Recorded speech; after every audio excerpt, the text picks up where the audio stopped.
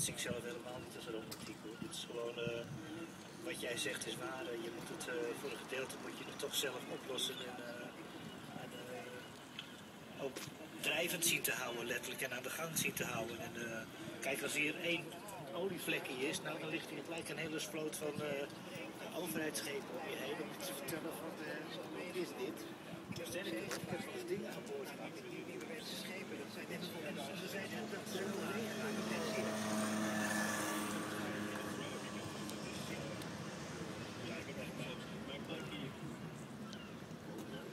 Bootje heb ik om mee te varen als ik dat zo nodig moet. Nou, als er een tsunami komt, dan, eh, of, of de dijken breken, hè. de tsunamis hebben die, als je nou de dijken breken, dan vier je touw en dan blijf je gewoon drijven. zijn.